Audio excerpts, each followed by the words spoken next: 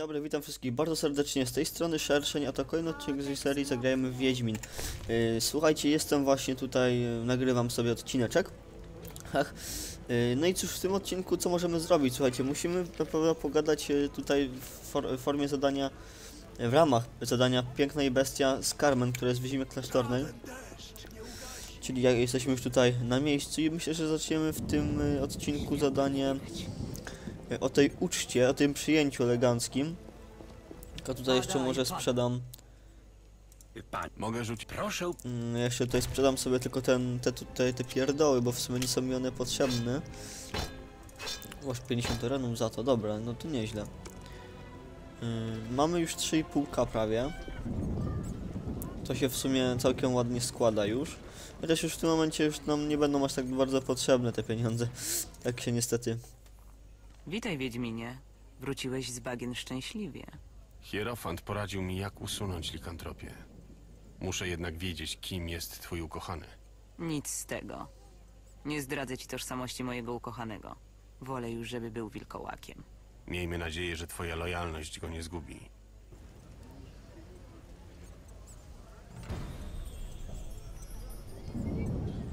Teraz ważny jest tylko mój ukochany. Mm, czekajcie, bo nie jestem pewien, nie pamiętam za bardzo tego questa, jak go mm, dalej trzeba było zrobić. Tak więc po prostu zrobię klasyczne wejście i wyjście z pomieszczenia. I może się coś y, tutaj... Wiesz może coś o niebieskookiej dziewczynie, pogryzionej przez wampiry? O wampirach nic nie wiem, Geralt. Ale wiem za to, że prześliczna niebieskooka dziwka pojawiła się w bordelu w wyzimie handlowej. Konkurencja? I to jaka? Pusto się u nas zrobiło. Ludzie wolą pójść raz do niej niż dziesięć razy do moich dziewczynek. Czyli to pierwsza liga. Tak, dam ci adres. Coś czuję, że jak się nią zainteresowałeś, to długo w tym bordeliku nie zabawi. Bywaj. Okej, czyli po prostu na razie y, z Carmen nie, nie, nie możemy nic zrobić. Y, Dostaliśmy tylko y, tutaj ym, update zadania niebiesko oka. Tak więc co, chyba sobie go teraz wykonamy, chociaż powiem wam szczerze, że y, są dwa jakby dwa sposoby na to, na wykonanie tego zadania. Y, możemy tam y, wejść i zapłacić, że tak powiem, albo po prostu mm, wykonać inne zadanie, raczej przeprowadzić rozmowę w, za, w ramach zadania mm, tej, o tej uczcie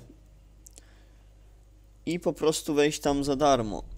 No ja oczywiście wybiorę tą opcję, ponieważ no mm, mógłbym zapłacić, bo mówię, pieniądze tutaj nie są, y, no nie są już tak, aż tak mocno potrzebne, aż tak jak były wcześniej, we wcześniejszych aktach. Natomiast, y, no po co wam płacić, skoro mogę to wykonać za darmo, nie? Wiedźmin! Co dziewki Mm, dobra. Ja tam jeszcze pewnie będziemy musieli się udać na, na bagna, więc y, raczej y, tą drugą bestię y, sobie zostawię na później. A my tymczasem tutaj, a jeszcze jedną rzecz chciałem spełnić, ponieważ tutaj mamy mm, ten cały o no, prze, przepraszam panowie, proszę się odsunąć. Jezu. No proszę, w końcu kto... Dobra, whatever.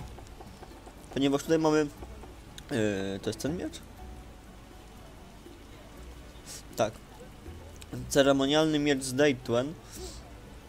Yy, I on ma tutaj 16 i 5. W sumie tyle samo co nasz, a jest dopiero dostępny w akcie trzecim, a my go mamy oto od aktu pierwszego, nie? To jest, to jest zabawne.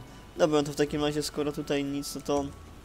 Yy, lecę dalej. Nie ma co się tutaj w ogóle interesować tym zakupem. No, Do, do karczmy tędy, dobra. To i tak będziemy musieli pewnie przemedytować do, do później. A tu w sumie jeszcze będzie zadanie z jaskrem. Z tego co pamiętam. Tu będzie siedział i chyba to, to tyle jeśli chodzi o te... O zadania w y, karczmie. Tylko jeszcze chciałem jedną rzecz sprawdzić w dzienniku dokładnie. Zlecenie na wiwerny. Tu mamy karczmarza, od razu możemy dać mu to mięso wiwern. Witam, witam, czym chata bogata. Witam. Mogę czymś służyć? W sprawie ogłoszenia. A, tak, wiwernie mięso. Mam nadzieję, że masz trzy sztuki. Oczywiście. Oto twoja zapłata. No okej, kolejne zadanko wykonane, 200 oreniaków dostaliśmy. Ja chyba sobie tu jeszcze po, poskładam, mm, teraz poskładam sobie jakieś itemy. Witam. Mogę... Poskładam sobie tutaj, bo widzę, że mam trochę wódeczki, trochę tam o właśnie jaja wiwerny się przyda na e, kolejny akt. Mm. No chyba tyle, już widzę, że mam naprawdę dużo składników alchemicznych. E, tutaj, e, no zaraz będzie, będzie mi torba po prostu pękać w szwach. No pogadajmy z Jaskrem może w takim razie. Geralt! Dobrze, że jesteś. Nie mam ochoty na koncert. Pogadamy kiedy indziej. Problem w tym, że jest tu wiele osób, którym obiecałem występ, a nie mam mojej lutni. To faktycznie masz problem. Geralt! Co się stało z lutnią? Ech, długa historia. Głupio opowiadać o suchym pysku. No to w takim razie jazda. Mam nadzieję, że ten, Nie bądź śmieszny, Geralt. Czyli trzeba kupić jakieś po prostu piwko. A wydawało mi się zawsze, że ten, że tutaj e, jaskier to raczej tak e, z grubej rury lubi się napić. Gdzie jest jakaś karcz, karczmarka tam? Yy, kelnerka, bo nie widzę. A tam jest. Koteczku, nie bądź taki wyrywny. Załatwię jedną sprawę i już jestem do twojej dyspozycji. No, no dobrze, spokojnie. Nie ma co się od razu denerwować. Yy, nie wiem, jakiś jakiegoś, jakiegoś wizimskiego czempiona kupię. Może, może to się spodoba. Tutaj panu mm, jask, Jaskrowi. O, dobra. Piwko zawsze na propsie, jak tutaj widzę. Mam nadzieję tylko, że starczą trzy, a nie, nie więcej. No dobra, chociaż cztery niech starczy. Nawet niech pięć starczy, ale już niech starczy. O Boże.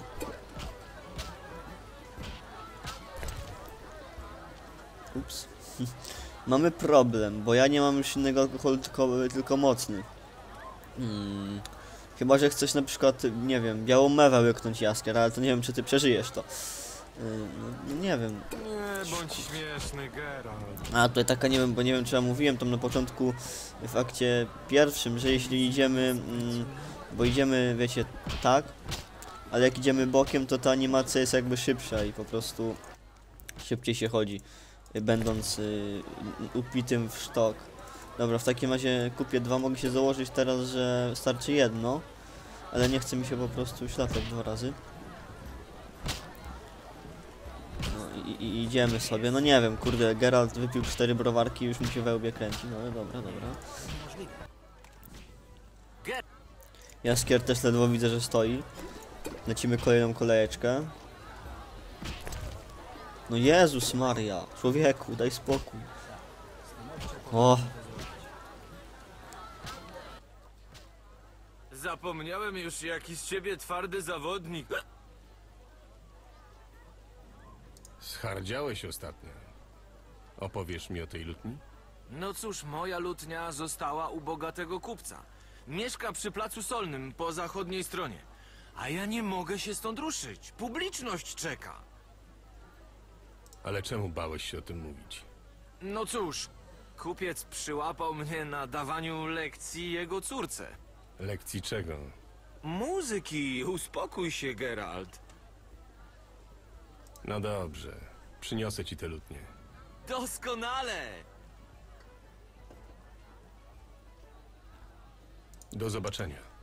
okej, czyli dostaliśmy kolejne zadanie Lutnia Jaskra. Musimy sobie... Musimy pójść do tego mieszkania tego kupca. Sobie przemedytuję oczywiście. Przy okazji chciałbym tak jakoś mniej więcej do mm, 18. Podejrzewam, mam nadzieję, że w ciągu dwóch godzin Geralt wytrzeźwieje już. Ponieważ po prostu tutaj od godziny 18 zaczynają się te przyjęcia Louis Wardena, więc yy, chciałem piec dwie pieczenie na jednym ogniu. Nie ukrywam. Okej, Geralcik już jest, że tak powiem, w pełni sił. Gratuluję w ogóle metabolizmu, no ale to w końcu Wiedźmin.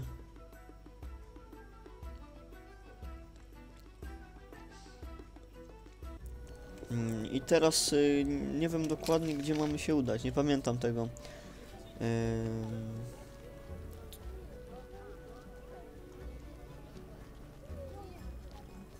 Aha, lutnia jaskra jest tutaj, dobra. Gdzieś próbował wcisnąć mi fistech. Ostatnio więcej na ulicy Fistechu niż psiego głowy. Który z tych drzwi? Chyba to są te drzwi. Zobaczymy. Nie pamiętam, nie pamiętam. Dom kupca to jest to na pewno. Oho, idzie już. Laczek. Czego tutaj chcesz? Zostawcie moją córkę w spokoju! Nic nie chcę od twojej córki. Nie wierzę ci! Precz z mojego domu, przybłędo zatracony! Posłuchaj mnie, dobry człowieku. Wol mówię, bo na kopach wylecisz! Naprawdę chciałbym załatwić sprawę pokojowo. Spieprzaj, dziadu! Nie chcę awantury, ale mam już powyżej uszu tych obelg. Załatwię cię jedną ręką, dziadygo! A masz! No to chodź. Ja takich leszków na śniadanie zjadam. Chodź tu, gałganie. Dobra, już jest co pierwszą lutę.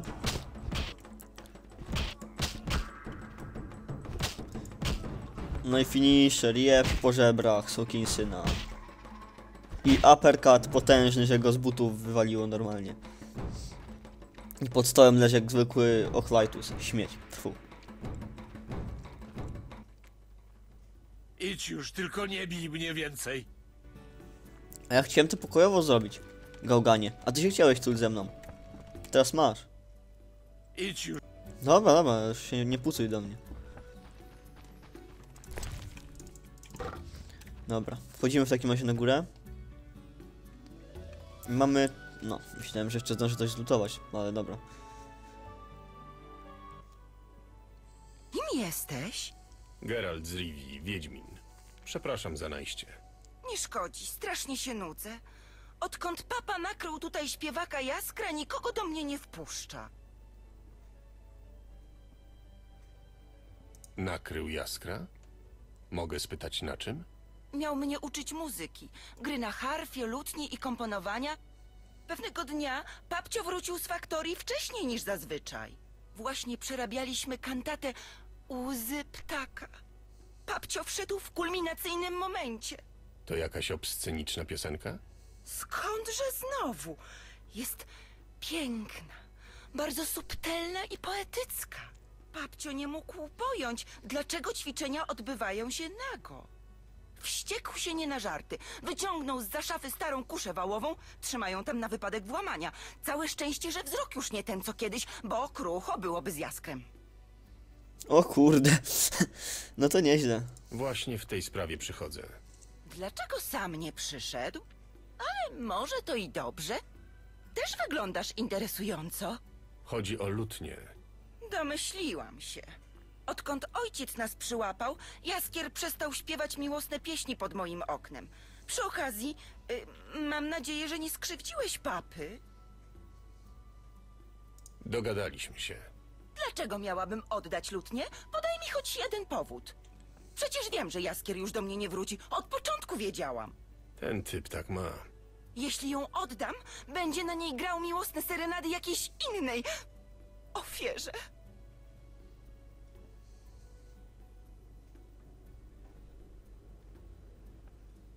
Jeśli oddasz lutnię, udowodnisz, że nic dla ciebie nie znaczy i nigdy nie znaczył. Rzuciłaś go, puściłaś kantem. Tak, tak. Padał mi do nóg, błagał o przychylne spojrzenie. Oświadczył się, ale odmówiłam.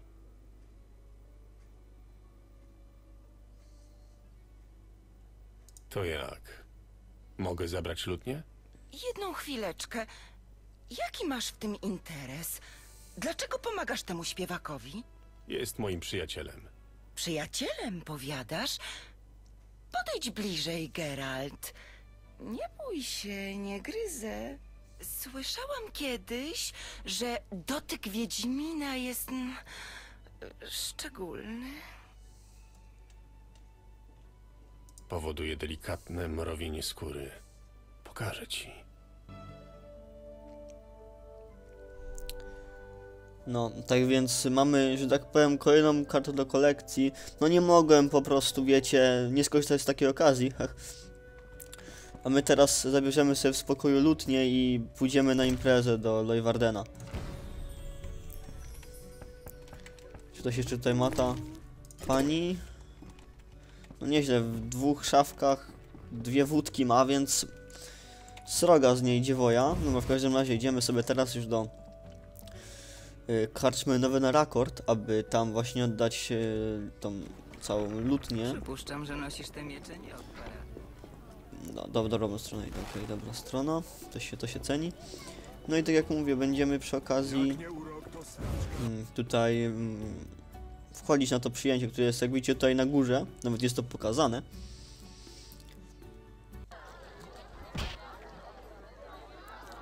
Co to było? Jesteś inny. Nie wiem, może jakiś bóg kamery czy coś? Whatever. Oto twoja lutnia. świetnie! Dzięki, muszę przygotować się do występu. Kiedy będziesz śpiewać? Wieczorem, po 20. Jeśli chcesz, przyjdź posłuchać. Postaram się przyjść. Dobra. W takim razie zakończone zadanie mamy yy, i tutaj Pan Leuwarden zaprasza na 18. No, na 18, czyli jeszcze z dwie godzinki sobie kimnę i styknie. Akurat. A dobra, już do, do samego zmroku sobie e, się prześpimy, żeby nie było muki, nie? No tylko tak jak mówiłem wcześniej, w tym odcinku raczej pewnie będzie dużo gadania takiego, bo taki akt, znaczy taka, takie zadanie po prostu, no w końcu jak przyjęcie, no to sama nazwa mówi, że będzie, będą rozmowy, tak, bankiet czego to.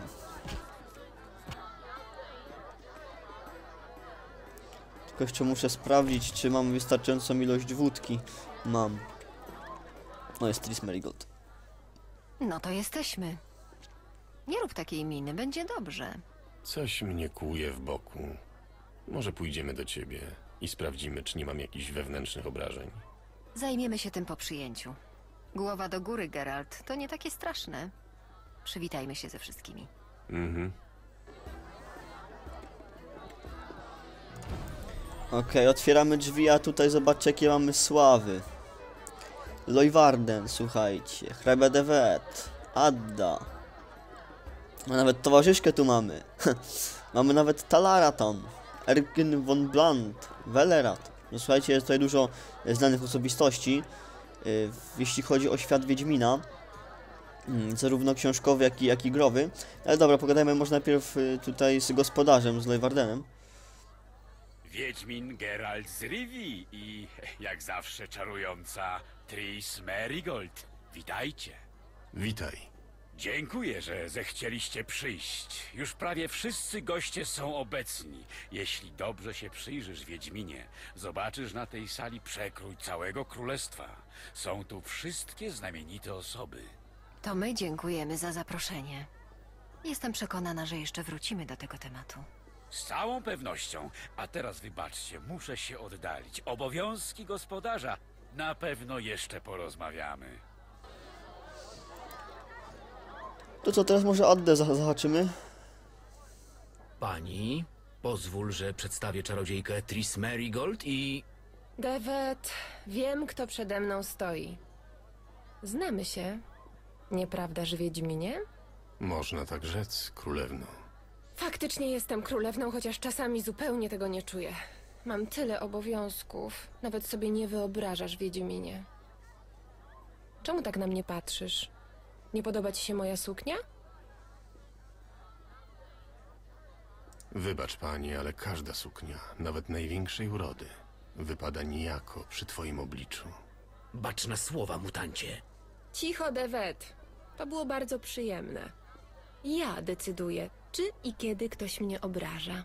Ależ wasza wysokość to odmieniec. Milcz, Devet. To było bardzo miłe. Na razie możecie odejść. Okej. Y, Co dalej? Velerat może. Geralt, przedstawiam ci grododzierżcę Welerada. Miło mi. Witaj, Wiedźminie. Kopę lat. Welerat jest prawą ręką króla Foltesta. Pani Tris jest bardzo uprzejma, ale przebywamy w gronie przyjaciół, więc nie ma potrzeby oficjalnie się przedstawiać. Ale jeśli chcesz otworzyć sklep albo faktorię, ubijesz potwora, masz sprawę do króla, najpierw musisz przyjść do mnie. Rozumiem. Będę pamiętał. Wybaczcie, grododzierżco, ale musimy przywitać się z resztą gości. No i teraz myślę, że najbardziej zaskakująca postać y, na tym całym bankiecie, czyli sam Talar. Geralt, miałeś okazję poznać Talara? Talar? Tutaj? Dzień dobry. Chciałem przedstawić mojego pana, szlachetnego Erkyna von Blunt. Witajcie, panie. Erkyn złożył śluby milczenia i nie odpowie. Zastanawiacie się pewnie, jaki jest zatem powód jego wizyty. Rzeczywiście, zastanawiamy się. Złożył w swym życiu wiele ślubów. Przysiągł między innymi chronić rodzinę panującą. Niestety królewna Adda z jakiegoś powodu nie darzy go zbytnim poważaniem. Ślubów zaś trzeba dotrzymać, niezależnie od okoliczności. Jaka jest twoja rola? Bo zgaduję, że ślubów nie składałeś. Upoważnił mnie, bym przemawiał w jego imieniu. Ponadto służę mu radą. Oczywiście. Nie przeszkadzamy zatem. Chodź, Geralt. Poznałeś już wszystkie bardziej znaczące postaci. Teraz muszę porozmawiać z Lojwardenem. Uważaj. Na pewno ktoś spróbuje cię wypytywać. O co? Jestem tylko Wiedźminem. Nie daj się zwieść. Tutaj wszystko ma podtekst polityczny.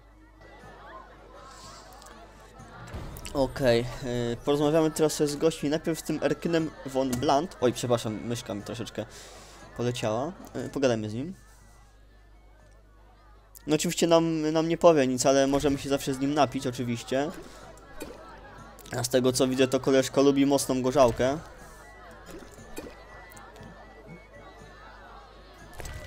Mam nadzieję tylko, że Gerwant nie odpadnie zbyt szybko, bo... Aha, nie, dobra, na szczęście nie.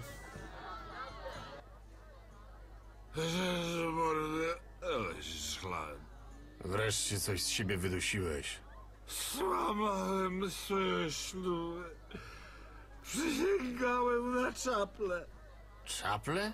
E, dość bredni. Talar wynajął mnie, żeby być inkognito na przyjęciu. No, a ty się wygadałeś. Nie rób scen, proszę. Dam ci specjalny sztygnet domu nocy. Zniska scenę do połowy. Okej, tak więc jeśli chodzi o pana Erkyna, to byłoby na tyle. Dostaliśmy sygnet do domu nocy. O, i teraz, wiecie co, sobie chyba łyknę e, biały miód po prostu. A nie, ja nie mam tego, tego, żonin, żo- żoninych łzu, łzów. W takim razie podejrzewam, że z dwie godzinki tutaj medytacji wystarczy, żeby się ogarnąć, jak ostatnio. No i słuchajcie, tutaj było nawiązanie do książki, przysięgam na czaple, przysięgałem na czaple, powiedział Erkyn. To jest oczywiście, oczywiście nawiązanie do błędnych rycerzy tu są. E, No nie będę tak jak już mówiłem spam spoilerować, tylko wam powiem tyle, że w trzeciej części Wiedźmina w dodatku Krew i Wino jest tutaj to wszystko rozwi- rozwinięte. No i oczywiście w książkach. Yy, dobra, w takim razie skoro Erkyna już nie ma, pogadajmy sobie, a cóż, z Talarem. Jak się bawisz, Wiedźminie? Wybornie. Żarcia mało, nie ma gdzie usiąść. Wszyscy się kręcą po sali, wymieniając jakieś banały. I jestem chyba tutaj jedyną osobą spoza licznych tajemnych układów. Taki nastał czas. Nowe obyczaje, nowa moda. Uważasz, że powinniśmy pokazać Nilfgardczykowi, jakie z nas dzikusy? Że mylimy widelec z grzebieniem? Że jedyny sposób ucztowania, jaki znamy, to chlanie na umór, porykiwanie sprośnych piosenek i klepanie dziewek służebnych po tyłkach? Wybacz, ale jako anachroniczny relikt przeszłości przywiązałem się do dawnych obyczajów. Nowych nie rozumiem i nie aprobuję. A ty przestań mi mydlić oczy, Talar. Gadaj, kim jesteś i co tu robisz. Jestem patriotą. Na sercu leży mi wyłącznie dobro królestwa, a zagrożeniem dla niego mogą być układy, o których sam wspomniałeś. Nie kręć. Już powiedziałem, że jestem prostym, staromodnym wiedźminem. Mów do mnie słowami, których używał niegdyś Paser Talar. Paser Talar nie robi nic za darmo. Paser Talar jest oszustem, który wolałby zapewne, aby chłopcy z klasztornej nie dowiedzieli się o tym, że chadza na przyjęcia wyzimskiej śmietanki towarzyskiej. Niech będzie. Powiem ci, druhu. Kroi się ostra haratanina. Pardonu nikt dawać nie będzie, a pokonanych rozdziebią krucy. Mój anachroniczny kamracie, staniesz do boju o nowy ład lub przeciw niemu. O tradycje i zwyczaje, o ziemię, dobytek i baby nasze walczyć będziemy. Przeciw komu? Kto jest tym złym? Kto baby chce nam kraść? Zwodzić cię nie będę, boś swojak i wspólna sprawa nas łączy. Tedy szczerze powiem, nie wiem jeszcze. Wkrótce jednak się dowiem, a wtedy... Wtedy nastanie czas miecza i topora. Ulice juchą spłyną i wiedz jedno, kamracie. Nie będzie miejsca na twoją neutralność. Kim tak naprawdę jesteś? Tylko nie kręć, kamracie. Pracuję dla wywiadu Temerii. Wykonuję bezpośrednie polecenia króla. Szukam zdrajców, sprzedawczyków i obcych agentów. Jestem szpiegiem. Wysoko postawianym szpiegiem. Nie przeczę. Chcę ci zadać niedyskretne pytanie. Płazy, o które mnie pytałeś, to sprawa osobista, czy, że tak powiem, ideologiczna? Sprawa osobista. Możesz wyjaśnić? Okradli mnie i zabili osobę, którą zdążyłem polubić. Wystarczy? Rozumiem. Dziękuję za szczerość.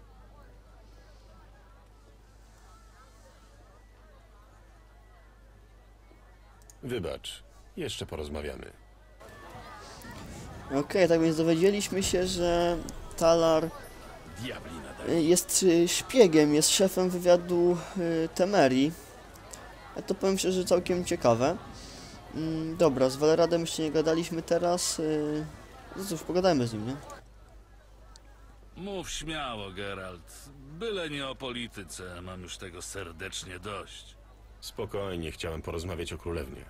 Żadnej polityki. Chciałem zapytać o klątwę. Ciszej do cholery. Napiłbym się jeszcze czegoś mocniejszego.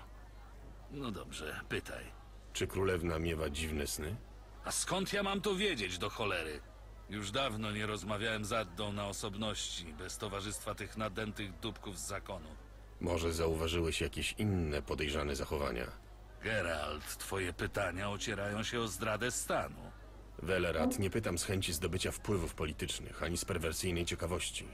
Uch, o ile wiem, nasza słodka królewna jest teraz zupełnie normalną dziewczyną.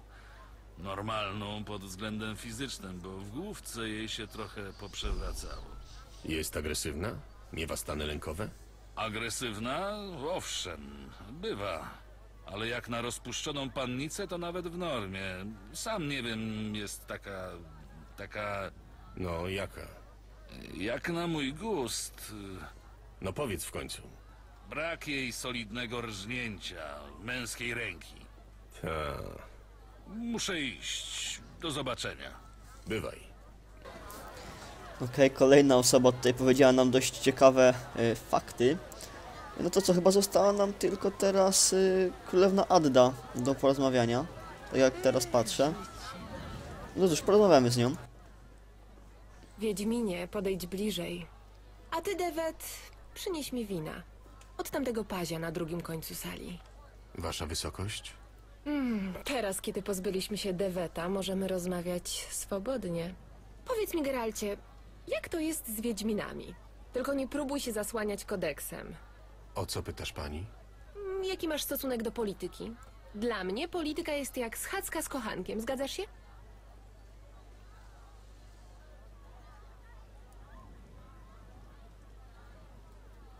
Tak, rzeczywiście dostrzegam podobieństwa. Opowiem ci żarcik, Wiedźminie. Świetnie, uwielbiam żarciki. Hrabina mówi do hrabiego. Hrabio, może podam obiad? Bez sensu. To może hrabio, pójdziemy na spacer? Bez sensu. No to może opowiem zagadkę? Dobra, niech będzie. Hrabio, co to jest? Ciepłe, owłosione i wchodzi do dziury. Chuj. A nie, bo myszka. Mysz w piździe bez sensu. Przedni żart. Nieważne. Wróćmy do naszych kochanków krążących po sali.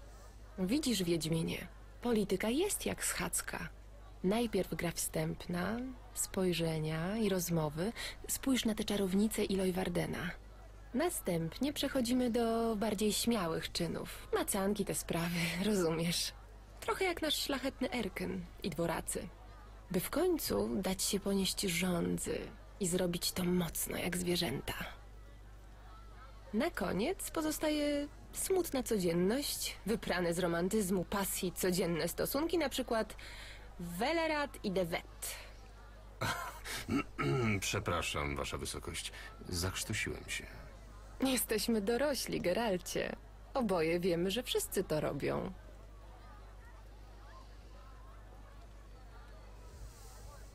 Masz rację.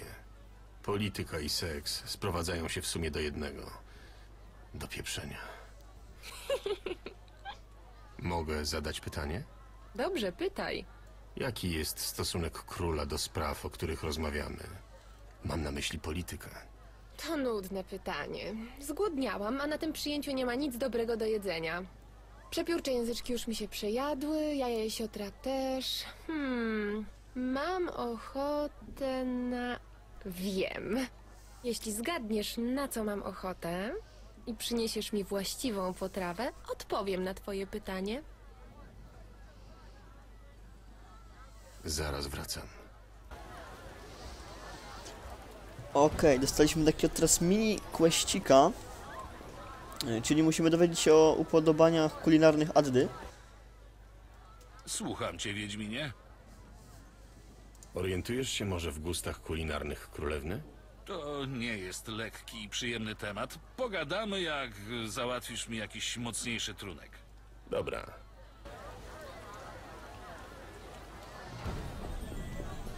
Okej, tutaj szklaneczkę wódki znajdziemy w tych, w tym pomieszczeniu bardziej. Tutaj dokładnie w tej skrzyni, aż to jest jakaś szafeczka jeszcze. Lokalna pieprzóweczka.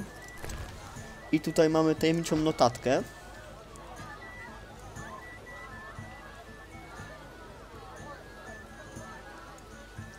Tutaj mamy jakieś e, dziwne, dziwne porachunki. Y, I jeszcze książkę Cudzoziemskie Krainy. Sobie, jak teraz chcecie, to sobie przeczytajcie. Okej. Co tutaj robisz? Co? Szukałem wychodka. W skrzyni? Punkt dla ciebie. Prawda jest taka, że szukam lepszych trunków. Nie będę pić tego cienkusza. O, wino rzeczywiście jest rozwodnione. Znalazłem tu niezłą gorzałkę. Chcesz trochę? O, oczywiście. Dobra, czyli jak widzicie, dostaliśmy taka lekka, na- no, natrafiliśmy się na lekką mukę. Wzięliśmy tutaj koleżkę. O, myślałem, że już tobie wystarczy, whatever. Co tam ktoś powiedział? Co? Myślałem, że jakiś, że koleżka tutaj wiązankę całkiem srogą y, wykrztusił, nie? W gardle mi zaschło. Bez czegoś mocniejszego nie będę strzępić języka. Spokojnie, grododzierżco. Impreza dopiero się rozkręca. Słucham cię, Wiedźminie. Dobra, dam ci tutaj jakąś wódeczkę. Ach, od razu lepiej. Dobrze, sprawa wygląda... Rozumiem. Coś Oj, jeszcze? wybaczcie. Wiem, że Talar jest wściekły, ponieważ to służbom specjalnym zleca się zdobywanie tych smakołyków. To niezwykle kosztowne. Dzięki za pomoc. Wybaczcie, niechcący nacisnąłem y, lewy przycisk myszki. Y, Dajcie mi sekundkę, ja teraz y, tylko sprawdzę ile się nagrywa.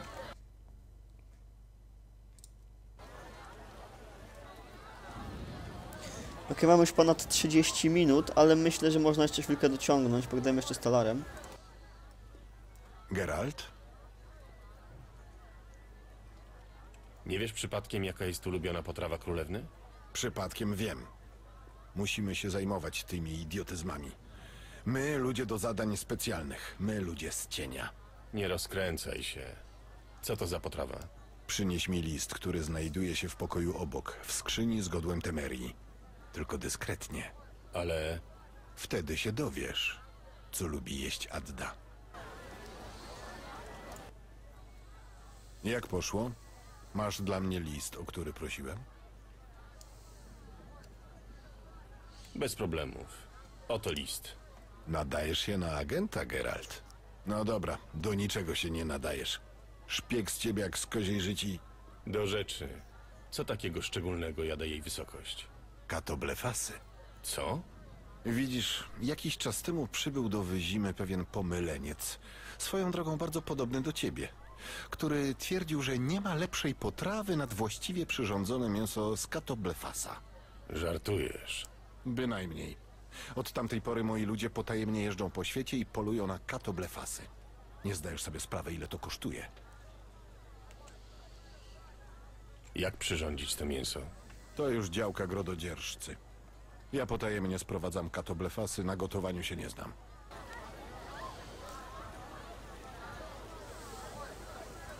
Dobra, w takim razie mm, tutaj mm, możemy zrobić tylko jedno, porozmawiać z czarodziejką Tris. Nie teraz. To ważne, Tris. O co chodzi? Myślę, że mógłbym się czegoś dowiedzieć od Addy. Tak? Ta rozpuszczona mała... Ech, nieważne. Chce dostać jakieś katoblefasy. Najlepiej krwiste. Żartujesz. Nie. Tris, proszę. Może jakaś mała iluzja? Rzucanie zaklęć na przyjęciu jest bardzo dużym nietaktem. Odwrócę od ciebie uwagę. Wiesz co, już lepiej poradzę sobie sama. Okej, tutaj widzimy już jakieś czarowanko. Udało się. Oto krwiste katoblefasy dla królewny. Dziękuję, Tris. Przy okazji, wiesz, że iluzję orgazmu też mogłabym wyczarować? Chyba wolę tradycyjne metody. Wrócę, jak załatwię sprawę z Addą. XD. Dobra, dajmy katoblefasy Ad- Addzie. Masz dla mnie coś dobrego? Oto tatar z katoblefasa. Krwisty. Z odrobiną pieprzu. I surowym żółtkiem. Wiesz, jak sprawić przyjemność kobiecie. Sprawiać przyjemność waszej wysokości to zaszczyt. Postanowiłam udzielić ci prywatnej audiencji. Przyjdź do Alkierza za pięć minut. Pamiętaj, będziemy politykować, a polityka jest jak schadzka. Czyli wiadomo już jaki będzie y, podtekst tego całego spotkania. No więc ja już szybko tutaj się mm, szybko pędzę, że tak się wyrażę. Do tego całego Alkierza, tak to się pomieszczenie nazywa. Nie wiem dlaczego to się tak nazywa ogólnie. Może Alkierz to pokój, no nie wiem, w sumie nieważne. Tak wygląda na, jak, na jakiś pokój, nie? Łóżko i tak dalej. Nie bądź taki niecierpliwy. Wreszcie jesteś. Bierzmy się do polityki, tylko cicho. Nikt nie może usłyszeć. Wasza wysokość obiecała odpowiedzieć na moje pytanie. Na co czekasz? Rozbieraj się. Wasza wysokość, ale Pamiętam, Wiedźminie, odpowiem w swoim czasie. A teraz udowodnij mi, że legendy o twoim mieczu nie są przesadzone.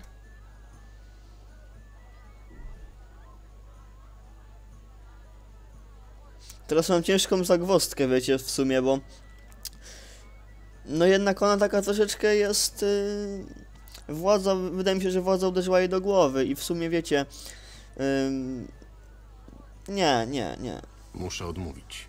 Nie igraj ze mną, Geralt. Wszystko ma swoje granice. Moja cierpliwość też. Nie będę twoją maskotką. Spodziewałam się tego. Szkoda, mogło być miło. Wiedz jednak, że zawsze dotrzymuję danego słowa. Król Foltest, mój ukochany ojciec, traktuje mnie jak dziecko, a dzieci nie bawią się w politykę. Już wkrótce się przekona, jak bardzo był zaślepiony. To wszystko. Możesz odejść. Wasza wysokość, ja... Odejdź. Chcę zostać sama. Geralt, rozmawiałam o tobie z Lojwardenem. Interesujące. Sądzę, że powinieneś go wysłuchać. Co takiego ciekawego ma mi do powiedzenia? Nie drwij. Złożę ci propozycję. Uważam, że powinieneś ją przyjąć. Nie traktujecie mnie instrumentalnie? Ty i te twoje instrumenty.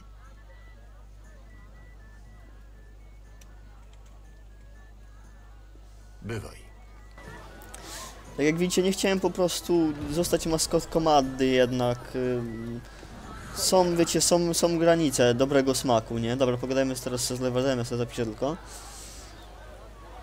Y, I jazda. A przy okazji do, dowiedzieliśmy się y, tutaj czegoś o, na temat Addy. Dobrze, że jesteś. Chciałem z tobą porozmawiać. Słucham. Stare przysłowie mówi, wróg mojego wroga jest moim przyjacielem. Może brzmi to banalnie, ale taka jest prawda. Streszczaj się. Geralt, proszę nie bądź ironiczny. Wysłuchaj, co Deklan ma do powiedzenia. Spróbuję zgadnąć. Potrzebujecie kogoś, kto wykona brudną robotę.